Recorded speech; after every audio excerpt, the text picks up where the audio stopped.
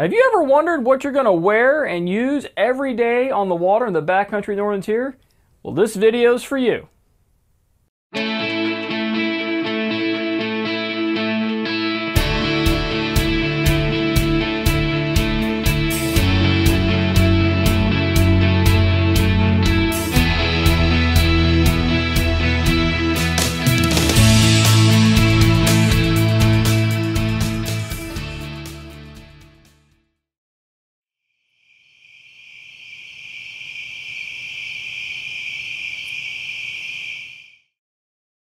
Hey, real quick, right before we jump into this video, if you'd do me a huge favor and hit that like button.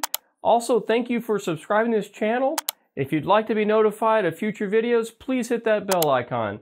Have a great day and enjoy this video. Right before we get into this video, I just want to let you know this is a very detailed video. It has a lot of detail in it because I want you to have a great, comfortable, and safe experience where you're going to spend most of your time at Northern Tier, which is on the water. You're going to be on the water every day in the backcountry, and you're going to be in and out of the water all day long. So, technically, in different environments. So, I'm going to go through every little detail of exactly what I wore and used, or would have wore and used on my trip in the backcountry on the water. Now, I know this is a long video, but stick it all the way through. I guarantee you that you'll learn a lot.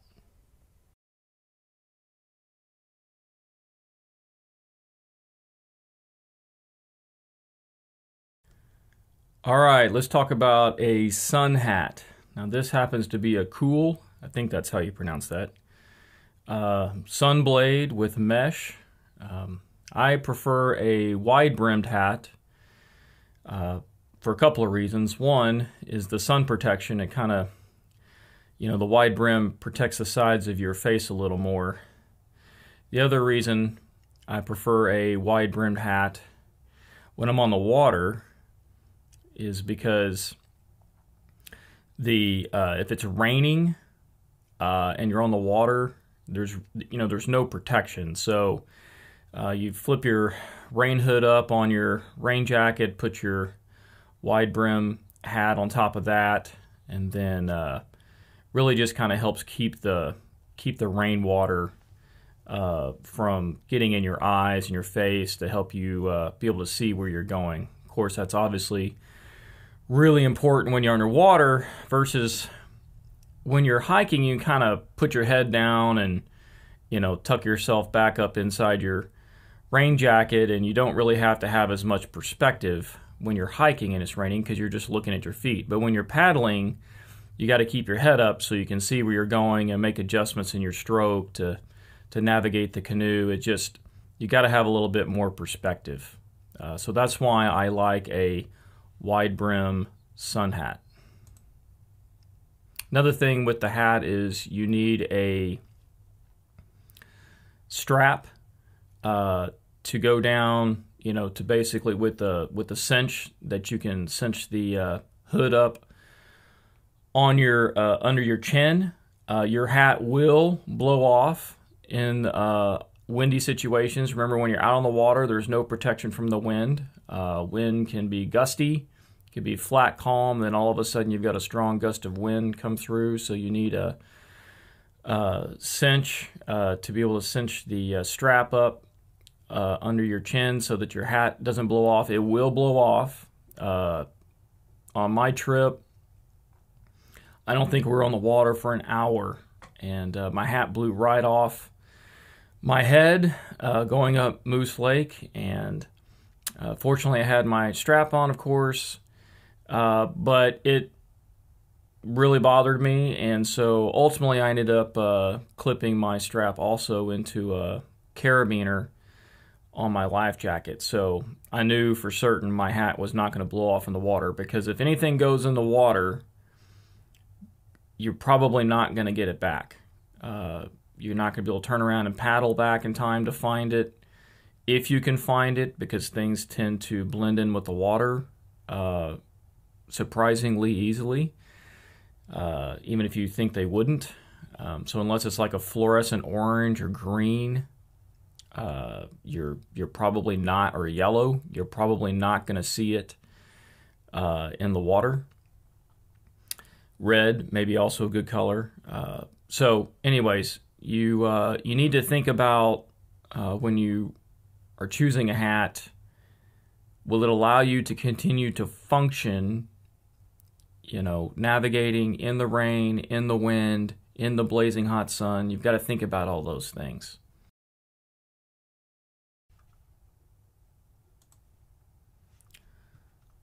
Okay, let's talk about sunglasses. Um, the sunglasses I took on the trip would not be sunglasses I'd recommend, or at least the particular model that I brought. I'll talk about that in just a second. I brought my Oakleys uh, that I have worn every day for probably 10 years. Maybe not the same pair every day for 10 years, but I tend to wear my Oakleys every day, all day. Uh, so I brought those, natural fit. Morning of day two, after our first portage, I looked down and realized that one of the lenses was missing on my sunglasses. So on the particular pair of Oakleys that I had, you could pop the lenses out. So what happened there was somewhere, and I went back to look, couldn't find it.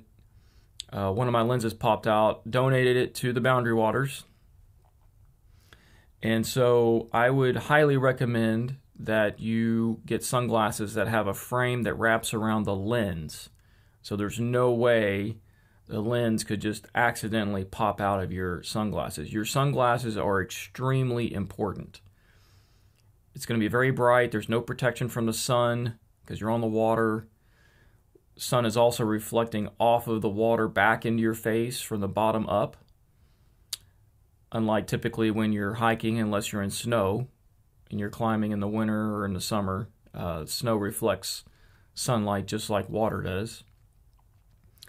So you need a frame that wraps around the lens to prevent you from losing your lens. Also, the lens needs to kind of wrap all the way around your eye so that light is not peeking in through the corners of the lens. Okay? Because you can get sunlight reflecting off the water behind you, above or below, above from the sun itself, if you're not wearing a wide brim hat, or directly off the water and back up onto your face from behind, and then it will hit the inside of your lens if your lens doesn't wrap all the way around your face and make it hard to see. Also, it's really nice if your lenses are polarized because then you can see through the glint off of the water which is kind of the reflection. And you can see underneath the water and see fish and rocks and trees, and it just makes your life a lot more interesting. Uh, to be a little more particular, the lens color, gray tends to offer a neutral rendition of the true colors in the scenery around you. If you tend to get a brown, it tends to highlight or accentuate the colors, but also kind of gives you a false sense of green, like how bright the green is, and some other things. So, also with your sunglasses, you need a retention strap to uh, keep the sunglasses on your face. So, if you capsize the canoe, uh, hopefully when you get back above water, your sunglasses are still on your face or at least around your neck. Because remember, anything that's not tight, not physically attached to you will get lost it will fall off of you, it will blow off of you into the water, and then it's gone forever. Now, to protect your upper body, I highly recommend that you wear a long sleeve shirt. A long sleeve shirt that offers a UPF rating like sunscreen. Uh, I prefer a hoodie, which means it has a hood, so that it can offer some extra protection for up around your neck and the sides of your face. I don't like wearing a buff uh, just because I, I feel like it's kind of stifling and hot and it can get humid in the boundary waters, so that would be another detractant.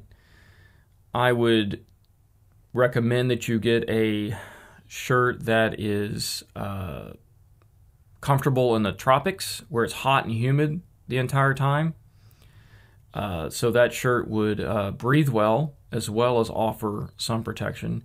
Now, the shirt that I brought happens to be a Patagonia Tropic Comfort Hoodie 2.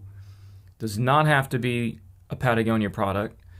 Uh, you can wear a Magellan fishing shirt, uh, be perfectly fine. Maybe your crew gets a long sleeve crew shirt that also offers some sun protection. I just know from experience this shirt, this particular sun hoodie, is extremely comfortable to wear. You can wear it for many, many, many, many days in a row uh, without washing it in your body odor, and it does not stink. Uh, it is not clammy to the skin. A lot of uh, shirts, I have some ex officio shirts that are claimed to be comfortable in hot, humid weather. They tend to stick to your skin, which I find uh, very irritating. Uh, and they get kind of clammy. Uh, and this shirt does not. Um, you got to understand that you're on the water. You can't change clothes. There's nothing you can do about what the clothes are you're wearing without pulling over, getting out of the boat, undoing your whale bag, pulling out your personal uh, uh, dry bag, and changing clothes. You just don't have that luxury when you're out on the water trying to get from A to B. Maybe you have that time when you're cooking lunch, unless you're doing a floating lunch. So you really need to think through carefully what you're going to be wearing, especially on your top and for your bottoms, uh, that allow you to be out in the sun, a little bit of cold, a little bit of wind, uh, all day, every day, and uh, still be very comfortable. All right, life jackets. The life jackets that are included with your fee for Northern Tier are red, uh, you know, Coast Guard approved paddling jackets.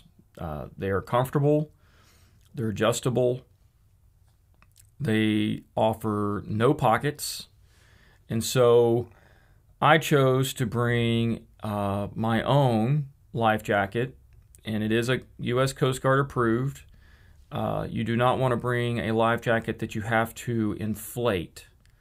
So this is a life jacket that already has the buoyancy uh, ready to go. So if you happen to capsize the canoe, there's nothing to think about. You're already uh, your your life jacket is going to do its job without any interaction on your part. So you need to bring a Coast Guard approved life jacket for on water. You're not going to be doing any whitewater rafting. And it also needs to be already uh, buoyant so you don't have to inflate it. Uh, this happens to be an angler or fishing uh, style jacket made for paddling. So if you fish from a kayak, uh, and the reason that style uh, is important is because it typically comes with a lot of pockets. What would you need pockets for? You're going to need pockets for Polar Pure, for uh, purifying water while you're in the boat. You're going to need pockets for GPS, maybe. You're going to need pockets for all kinds of things. And so uh, your life jacket is kind of kind of like your day pack, if you will. Uh, it's going to have a lot of things in it that you need. Maybe you, uh, you know, you need to carry something and you're going to need to have quick access to it. And so uh, you you need you know a zippered pocket, maybe a velcroed pocket, but a zipper pocket's preferred. Uh, so you're going to be amazed at what all you're going to end up using your life jacket pockets for. But it prevents you from having to dig around in your personal dry bag or in the whale bag. It's just right there in a pocket. You can just take a second, unzip it, pull it out, and then put it right back, and uh, and then continue paddling. So uh, you can use the life jackets from Northern Tier. We had a lot of people do that. We also had several people bring their own life jackets, which is what I, I did, and I'm very, very happy that I did. Another thing about your life jacket is it needs to be adjustable. Um, if it's really cold in the morning, you might be wearing your puffy jacket under your life jacket, so you need to uh, think about that.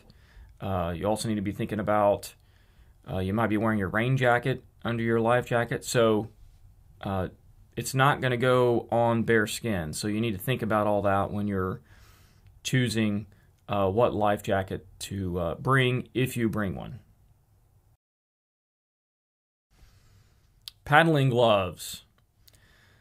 So it was highly recommended that I bring paddling gloves, and I'm really glad I did. These happen to be the NRS boater's gloves, and they have a padded palm. They are fingerless. They are not insulated. You do not need insulated gloves.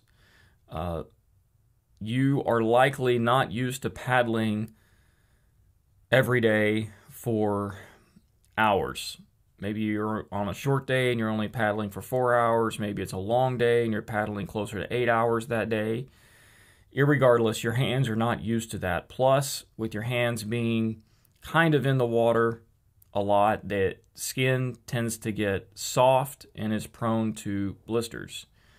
Even if you wear paddling gloves, it doesn't mean you're not going to get a blister. So, Leukotape uh, goes a long way to help with the blisters, but paddling gloves, well fitted paddling gloves, definitely, uh, I would highly recommend that you bring paddling gloves.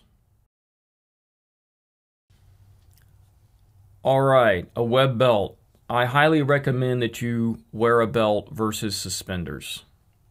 Um, suspenders tend to slip off of your shoulders when you're paddling. They tend to interfere with your life jacket and may become uncomfortable. Uh, there's just a lot of things that suspenders uh, you may find that you're frustrated with with suspenders.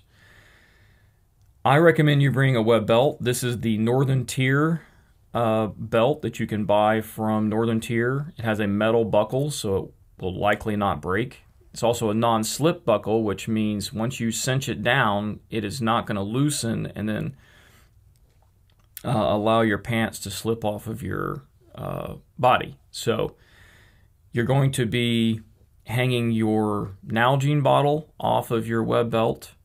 Uh, you might also be hanging a chair, a canoe seat off of your web belt, a map case, your personal dry bag. So your belt uh, can or will need to be able to hold up a lot of weight. Uh, I tended to clip things to my life jacket, but if you use the Northern Tier life jackets, you may find that you have to clip things to your web belt. And then if you're around camp, you're not going to have your life jacket on, so your web belt is very handy for you know walking around carrying your uh, Nalgene bottle.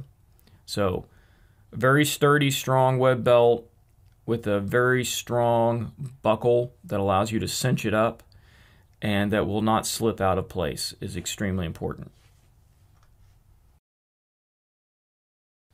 All right, a water bottle. Now, I know on the Northern Tier checklist, they only say bring one water bottle. I would disagree with that. I would highly recommend that the water bottle you're going to use every day, day in, day out, be a one liter Nalgene Lexan wide mouth water bottle. It can be a one liter Nalgene plastic wide mouth bottle. I just prefer Lexan because if the water bottle gets hot, the water inside of it gets hot from being out in the sun.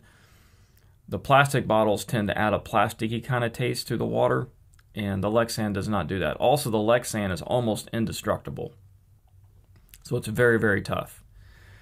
You're going to want a wide mouth uh, lid uh, that makes it a lot easier to do a lot of things, uh, like using your Polar Pure and things like that. You're going to want to put your uh, water bottle inside of a uh, the Northern Tier web holster, and uh, with the carabiner attached to it, a large carabiner.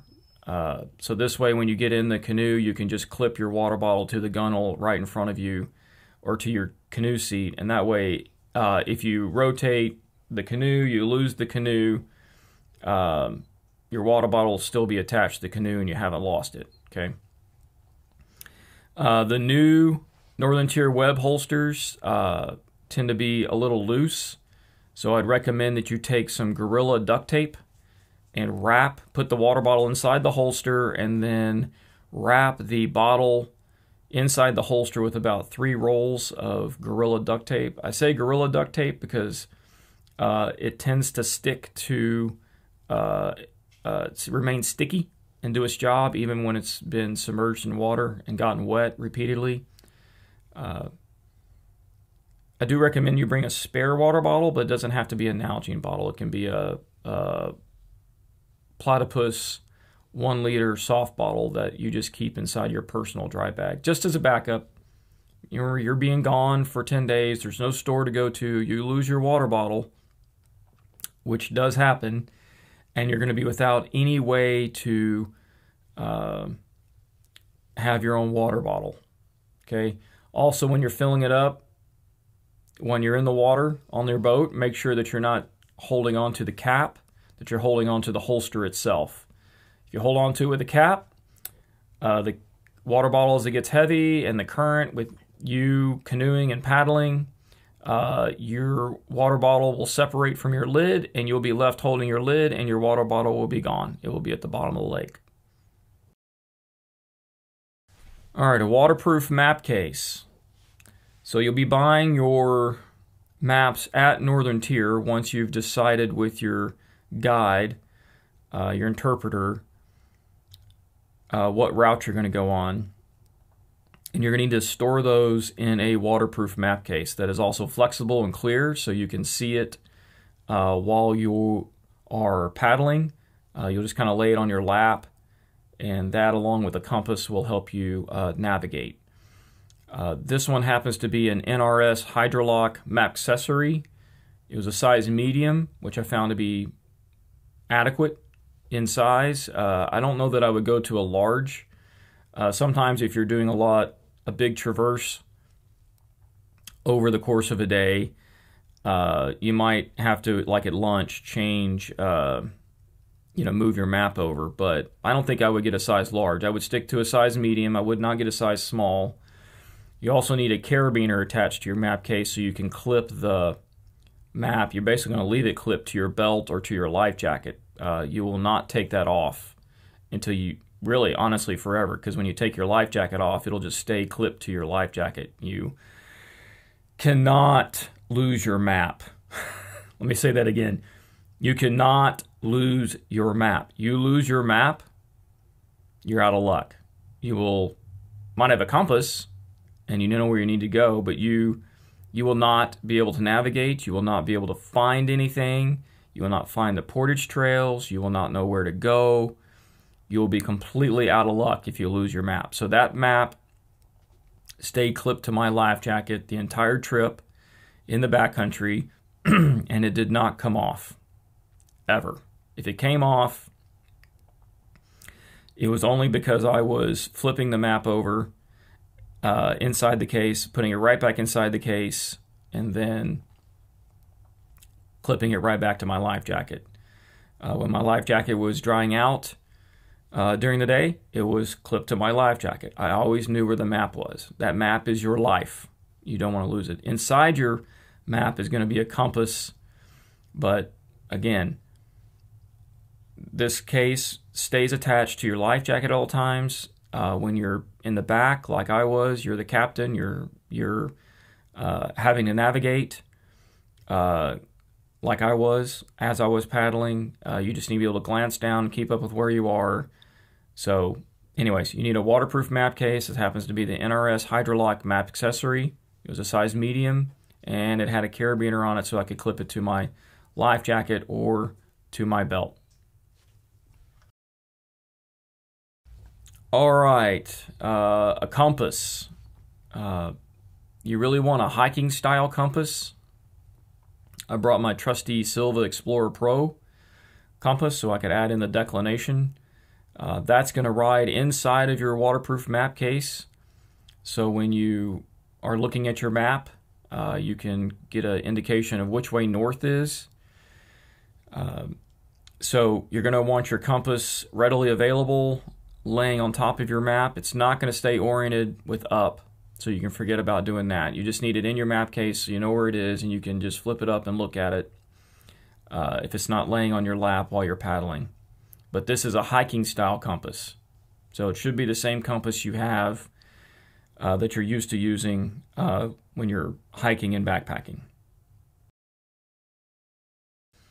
In addition to my hiking compass that was in my map case, I got a little ball compass. This happened to be a Coghlan's pin-on ball compass uh, that I pinned to my life jacket, and I can't tell you how valuable this little compass was. A lot of the times when you're navigating, you you just really need to keep up with where you are on the water, and then you need to know which way north is, or south, east, and west, but principally which way north is to stay oriented.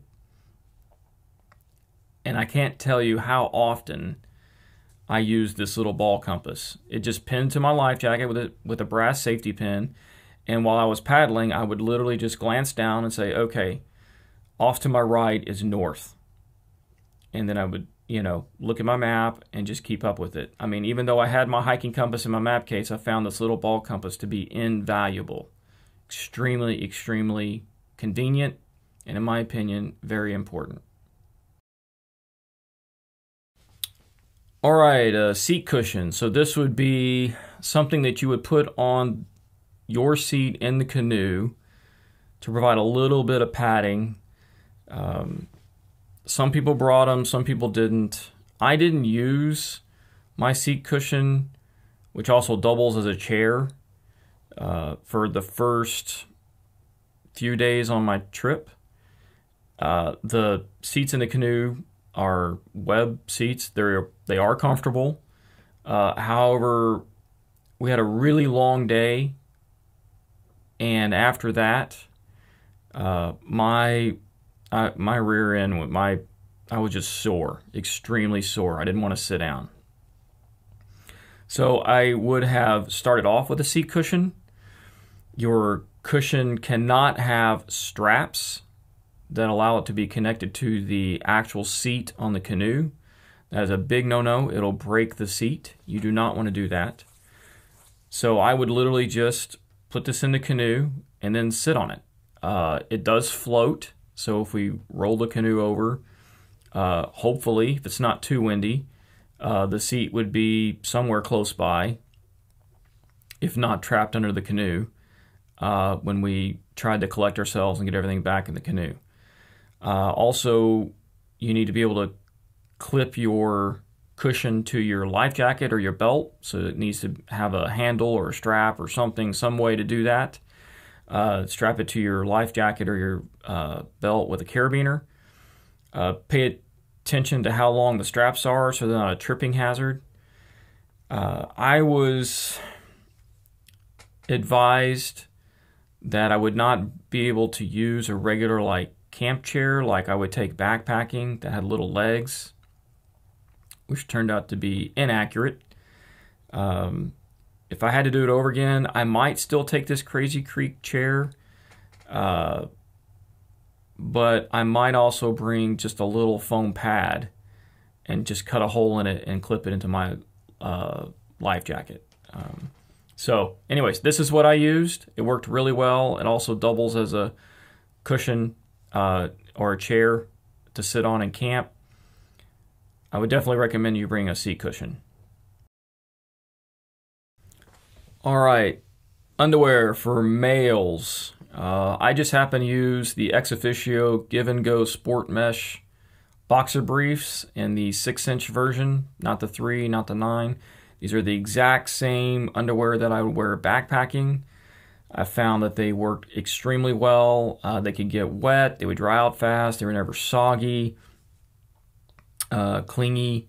Uh, they were just a really, really go to uh, set of underwear to wear. Um, they also don't tend to stink after wearing them for several days in a row. Uh, so, this is my uh, underwear of choice for backpacking, anything in the backcountry, and they worked very well up in Northern Tier when you're in and out of the water all day. All right, underwear for females. You're going to have to seek the advice of an adult female or someone that's been canoeing a lot, uh, you will be, or paddling a lot, you will be in and out of the water all day long. You will be wading in water, and then you'll be sitting on dry ground or hiking with, you know, portaging with your your uh, crew. Uh, so then you're now you're hiking all of a sudden. Then you're back in the boat. You're out of the boat. You're having lunch. You know, so something that's compatible with paddling all day. So you're not fussing with uh, straps that are falling off your shoulders while you're paddling. Uh, also, that's compatible with uh, your bottom and being in and out of water all day. So wet, dry, wet, dry. Uh, walking, sitting. Just think through all that. Uh, the last thing you need is to get out on your trip and then have an issue. So think this through very well before you head out on your trip. Long pants. Uh, much like wearing a long sleeve shirt, I highly recommend you wear long pants. Uh, these happen to be the Eddie Bauer Guide Pro pants without zip off legs. I know these pants are expensive, but they go on sale many times a year. Probably five or six times a year they will go on sale. That's when you want to buy them, is when they go on sale. Uh, you want the Guide Pro pants because they are they have a UPF rating. They have very slim, uh, meaning they have cargo pockets on the sides that don't tend to snag on brush, uh, which can be important when you're portaging, especially in Canada. Uh, these this version that I'm wearing on the water, they do not have zip off legs. I've found that the zipper uh, that allows you to zip off the legs, the bottom portion of the pants, to turn them into shorts gets very constrictive uh, when you're sitting a long time, like in a canoe seat. So uh, the pants that I'm wearing in the water all day are non zip off legs. And I highly recommend you wear long pants because you're going to be in the sun all day. There's no protection from the sun. You're going to be in camp uh, for lunch, and you might have to sit in the dirt.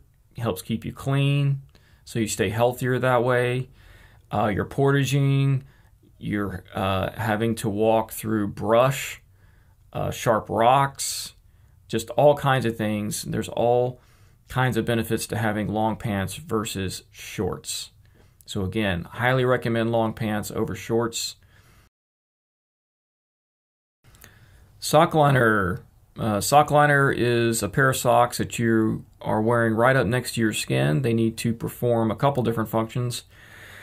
They need to be thin, uh, so they kind of form a second layer of skin to help prevent blisters and abrasion. And considering the fact that you're in water all day, you're wearing uh, boots that are not waterproof, your feet will be wet all day.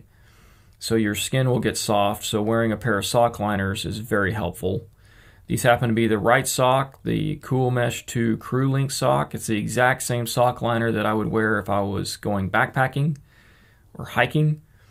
Uh, so again, sock liners are really important to help prevent abrasion on your feet and getting blisters because your skin will get soft for being in the water all day and you do not need blisters. Cushion socks. Uh, for the footwear that I chose to use uh, in the water, I needed to wear some socks that had some padding. These are the Smartwool brand Classic Hike, the full cushion crew link socks. Same exact socks that I would be wearing if I was backpacking. So these provide a little extra padding and cushion. They're also wool, so they also help uh, you know keep my feet uh, warm. Uh, the water is comfortably chilly, if that makes any sense. It's going to be chilly when you get your feet in the water, especially early on in the morning. Uh, but your boots will drain the water out, so your socks will stay damp. But if you're wearing uh, wool socks, even though they're damp, they will keep your feet very warm, but not hot. So I found that this worked very, very well with my choice of boot. If you are wearing or using the NRS work boot, they have a neoprene sock built into the boot, which provides warmth. Uh, and you definitely want to wear sock liners with those boots. Otherwise, you may not get your boot off at the end of the day. But I wore the Merrell ventilator boots, uh, which are basically hiking boots uh, that are not waterproof. And so I needed the cushion and I need to add a little bit of warmth. Uh, so that's why I chose these socks specifically. Water boots. Northern Tier makes it very clear, and for good reason, you have to wear boots that are not waterproof on purpose. You need to wear boots that will drain water out of your shoe as soon as you get out of the water. If you wear waterproof shoes, your boot, your shoes will, first of all, you can't wear shoes, you got to wear boots. They will act as cups and hold that water inside of your uh, boot all day long. And you're not going to be able to take your boots off every time you get in the water. You're going to be in and out of the water every few minutes, possibly, or maybe once every two hours, but you will be in and out of the water all day long. So you do not have an opportunity to drain your boots of water and you will be in water up to possibly your waist. You might capsize your boat and end up swimming in the water. So uh, you will definitely be in water over the top of your boots all day long. It was very common for us to be in water that was up to our knees or thighs every few minutes or every couple hours, just kind of depending on how often we were portaging. Uh, I chose the Merrell Moab ventilator boots uh, over the NRS work boot. Uh, I like the Moab ventilator boots. Um, they offered excellent traction. Uh, they were sticky uh, to wet rocks, although at some point none of the boots are sticky to wet rocks, but they were very uh, sticky to wet rocks. There was one time I was portaging up a very slick, smooth uh, rock face with the canoe. Uh, it was raining. Uh, my boots were wet. The rock was wet. I'm carrying canoe. There's no free hand to keep my balance. It was very steep, extremely steep. And these boots did awesome. They did great.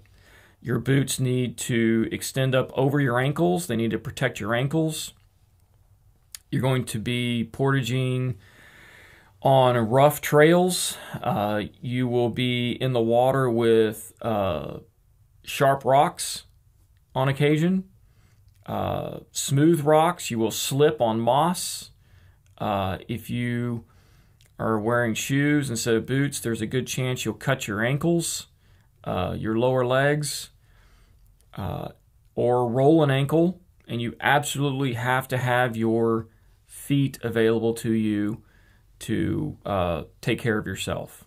If you can't walk, uh, your crew has a big problem, and you have a big problem. You have to be able to walk at Northern Tier. You know, you go to the Northern Tier, you think like, oh, I'm going to be paddling all day.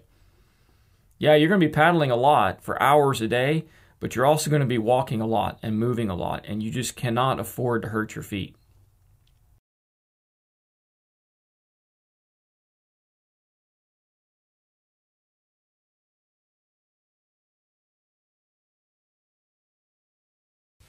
All right, I happen to have a backpack on here. Um, I had a bunch of stuff to carry around in the canoe actually a lot of camera stuff so that I could provide you guys with uh, video footage and photographs of Northern Tier. And I didn't really know how to do that, so I happened to bring a little uh, collapsible backpack that I just happened to have. And it worked okay. It's not what I would bring again. Uh, the wearing a backpack is not compatible with uh, carrying a whale bag, so that's not going to work. Uh, you're not going to want to clip it to your uh, life vest, although I guess you could. A 10 liter personal dry bag would be better. Uh, you can put pretty much just about anything you're going to need for being on the water in a 10 liter personal dry bag, uh, which is what I would recommend and would do differently next time. So I just get a 10 liter personal dry bag with a carabiner, and that way I could just clip it to my life vest or my belt for a portage, and then I could just clip it to the uh, gunnel of the canoe uh, when I was in the canoe. So this is what I took. It's in the picture. I'd explain why, but I wouldn't do it again. Carabiners. So, carabiners are little metal clips. Uh, I tend to only use carabiners for the most part that are the same as climbing carabiners just because I know they won't break. Uh, they're going to have an extremely high working load limit. They also will still open if they're under stress. So if you're pulling on both sides of the carabiner, the gate will still open uh, to allow you to undo it. Um, you're going to be using carabiners for all kinds of things. I would highly recommend that you get a carabiner with a uh, does not have a little notch on the inside of where the gate latches, um, like for example the pen, because then uh, those tend to get hung up on your straps or your belt, and you don't necessarily you're not necessarily to be able to see what's wrong, and you'll be very frustrated trying to get your carabiner unclipped from your belt or your life jacket. And also on portages, you really do not have time to be wasting. If you're in the boundary waters, there's going to be a lot of people. Uh, many times we were waiting for people to execute their portage so we could take our turn, or it was our turn to portage and we had people waiting behind us. So when you're in a portage, it's kind of like think of a NASCAR pit stop. You're not going to have a lot of time.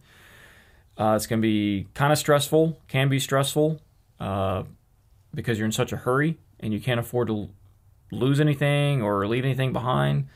So, little details like the carabiners not having a little notch on the gate with a pen. Uh, so, a smooth uh, carabiner design where you can literally just un- open the gate and just slip it right off your web uh, webbing on your belt or your life jacket, and it's not going to get snagged or hung up. Uh, those little details make a big difference. And note here that uh, I mean I have my map case and my chair clipped to my life jacket, uh, which is way more comfortable to clip it to your life jacket than your belt. Uh, this is easy to do because I brought my own life jacket. The Northern Tier life jackets uh, were a little more difficult to do this. It's a lot more comfortable to carry this extra weight on your life jacket where it kind of spreads the weight over your shoulders versus putting all that weight on your belt. And on the other side, when we flip around and look at the other side of myself, uh, you'll see that my Nalgene bottle is clipped onto my vest as well. So little details in the carabiners make a big difference. Everyone will need a watch. You don't need anything crazy. This is a, I mean, your watch just needs to be able to tell the time, obviously. Uh, have an alarm because you're going to need to get up in the morning, obviously. A timer for cooking and a stopwatch. Uh, sometimes you're running the timer and the stopwatch at the same time. For example, you may be running an hour timer for your Polar Pure, uh, which is the water purification uh, provided by Northern Tier. So that takes an hour. So you'll need uh, you'll need to be able to run a timer for that and a stopwatch because you may be cooking at the same time. So it really needs those functions. If it happens to have hour and a minute hand, you can use it to determine which way south is in case your compass gets lost. But uh, unless it's cloudy, you have to have the sun to do that. This happens to be a Suunto Spartan Ultra watch uh, because I'm an ultra marathoner and I happen to have it because it has a built in GPS. So even though we brought a standalone GPS, uh, I just happen to have this watch as a backup, but then also to be able to track our mileage for the day. So you don't need all that. You just need a watch, be able to have the time, have an alarm, have a timer, and a stopwatch. That's what you need.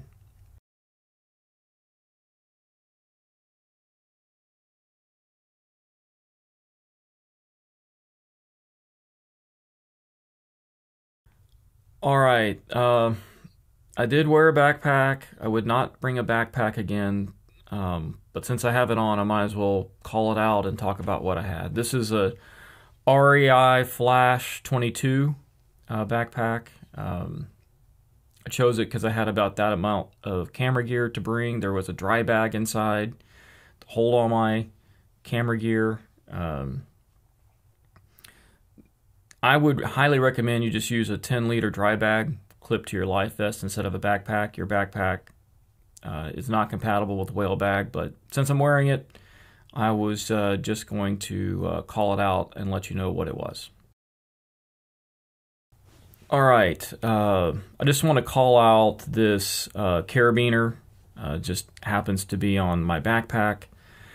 This is a very, very large carabiner. It's larger than most uh, people's hands. It has a very large opening, uh, also called a throat. So when you open the gate, which is the little part that moves uh, to allow you to put things, clip the carabiner onto things, that space is very large because you're going to want to be able to clip it directly to your canoe seat or to the thwart in the canoe. Um, so that that is a very quick process. Uh, because when you're on portages, you're not going to have uh, a lot of time to do things. So you need to be efficient. And this just large carabiner allows you to uh, just literally clip your dry bag or water bottle or whatever directly to uh, the canoe. Uh, again, if you roll the canoe over, which can happen, uh, whatever's clipped to the canoe will stay to the canoe. So this way, uh, when you right the canoe, everything's still there. Also, when you go to find it, you can uh, uh, know where it is. And when you're paddling, if you need a drink of water, for example, you just unclip your Nalgene bottle, uh, take your drink of water, and then clip it back to the uh, thwart or the canoe seat. And that way it doesn't get lost and it's not going to fall overboard. All right, I just want to call out uh, the strap on the chair here. Note how long it is, and it could be a tripping hazard. Uh, so when you're preparing to leave uh, home to go up to Northern Tier and you decide to take a seat cushion, uh, make sure you pay particular attention to how long that strap is. Uh, this happens to be a Crazy Creek chair, uh, so it doubles as a chair, uh, also as a seat cushion. I found that when I was using it as a seat cushion in the canoe, I had the strap cinched all the way up, which kept the canoe from flopping open, uh, which could have been a problem when I was portaging, getting snagged on things, uh, which in turn uh, made the straps very long, which could get tangled up in brush, or uh, I could have stepped on it and then lost my balance and, and fallen over on a portage with the canoe on my head. So, or a heavy whale bag if you happen to be carrying a whale bag. So just pay particular attention to little details like that so that your trip uh, is an enjoyable one. Okay, I just wanted to call out uh, the retention strap for your sunglasses.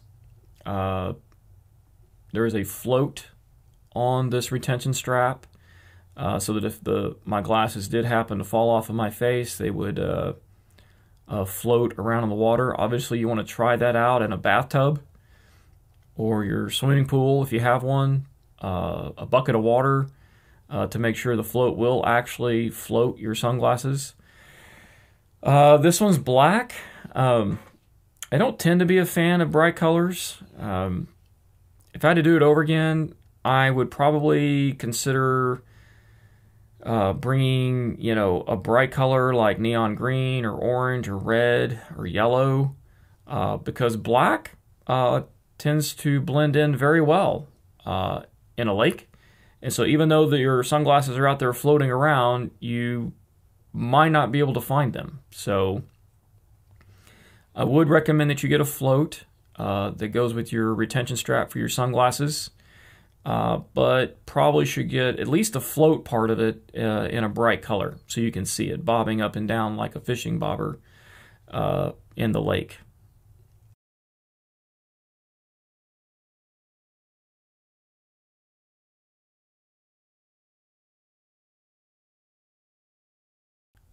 All right, this uh, hat came with a hat strap. You want to make sure that whatever you bring uh, for a hat, um, you have a strap attached either around your chin and cinched up, uh, or uh, it's clipped to your shirt somehow, um, because your hat will come off of your head at some point while you're paddling.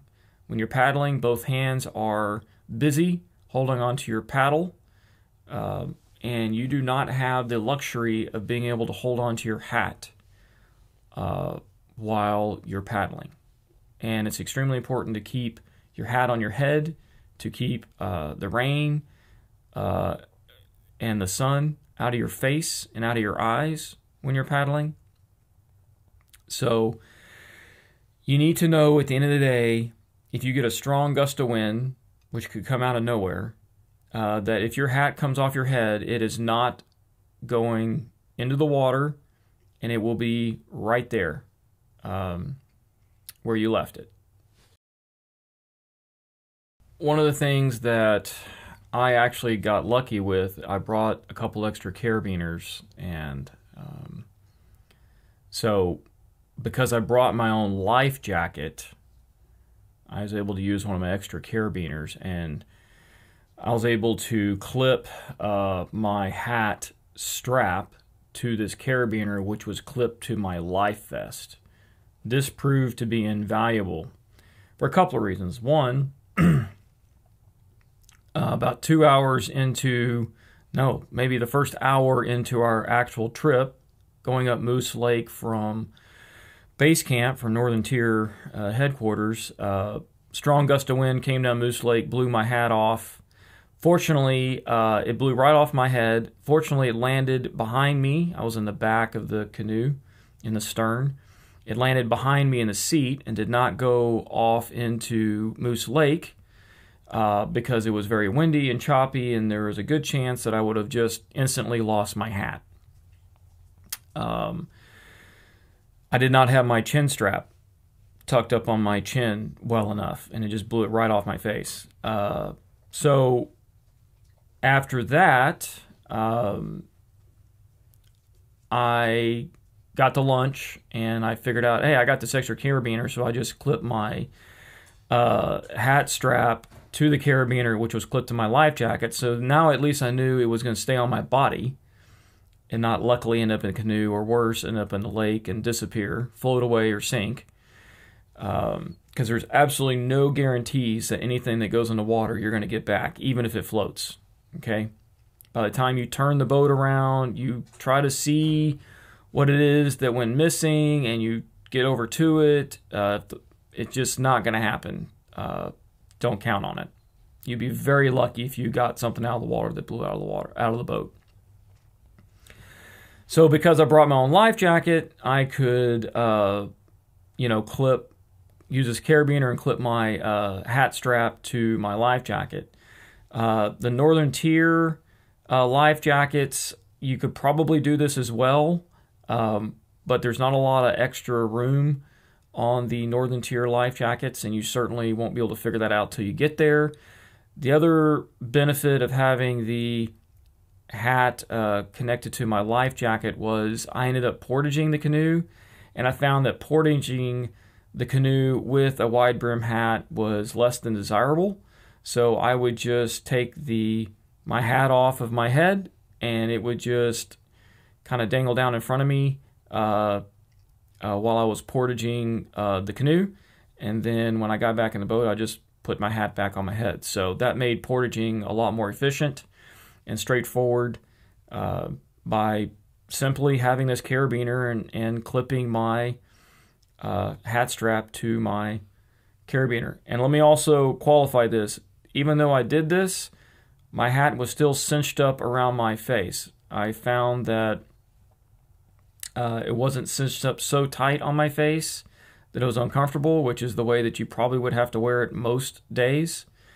Uh, so I was able to relax the cinch on my uh, strap uh, just because I knew my hat at the end of the day was not going anywhere. It was going to stay right there on my body if it happened to blow off of my head, which it did multiple times, but uh, I never lost it and it never left me. Again, sunla- sunglasses strap. Uh, you roll the boat over.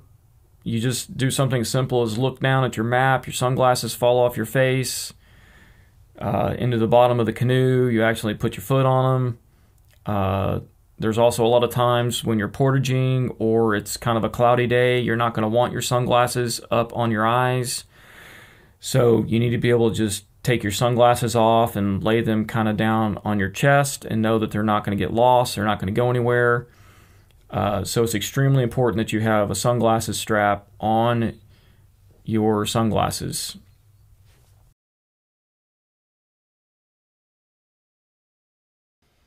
So congratulations for making it all the way through this video. I'm sure that you found it extremely detailed. And again, the reason I want to put all this detail into this is so that you can truly understand what you need to wear and use while you're on the water at Northern Tier. Hey, I really hope you enjoyed watching this video. If you'd like to support this channel, remember, please subscribe to this channel, tell your friends about it. Thanks for hitting that like button. Everything here is free. I want to give back to the community. I want to give to you everything here for free. I've been out in the outdoors for a long, long time, and it's great that I can be able to give this all this information to you. That is what's most important to me. If you would like to give back, I do have a GoFundMe page set up, and you can follow uh, the link. And if you'd like to, if you're a youth with your parents' support, I would gladly accept your donations. Thank you and have a blessed day.